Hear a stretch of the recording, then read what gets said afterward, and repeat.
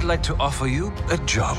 Netflix just dropped the official trailer for Dragon Age Absolution. Work faster, but we're all dead. The show's first season promises six episodes and takes us to Tevinter, where a former slave, Miriam, the main character, joins a team to retrieve a Tevinter artifact used for powerful blood magic called The Circulum Infinitus. This artifact seems to be controlled by Blood Mage, intent on keeping it, I won't let anyone take the circulum from me. who desires to reshape Tevinter. Together, we can make Tevinter a better place for everyone.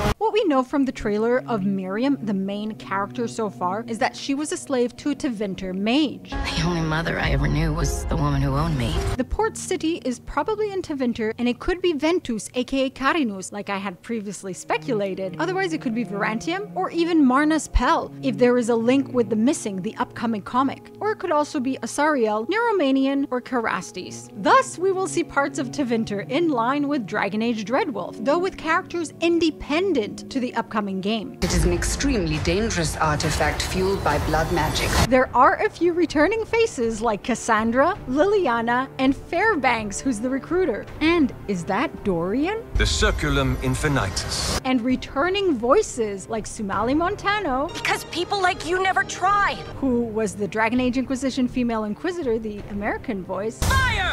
And Kimberly Brooks, I will never be a slave again. who voices Lanaya in Dragon Age Origins, Keeper Zathrian's first. The top cast includes Matthew Mercer as Fairbanks, Phil LaMarr as Roland, Keston John as Jacqueline, Sumalee Montano as Hira, Ashly Burch as Qwydion, Josh Keaton as Rezaren, Kimberly Brooks as Miriam, and Zehra Fazal as Tassia.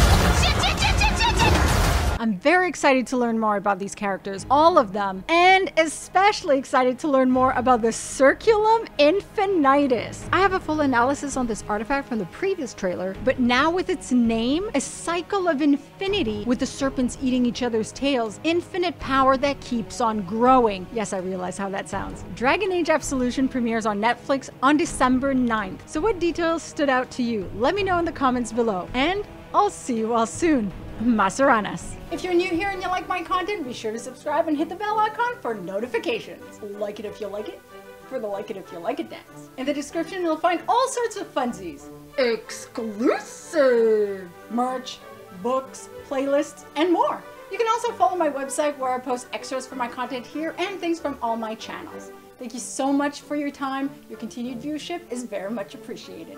Masaranas.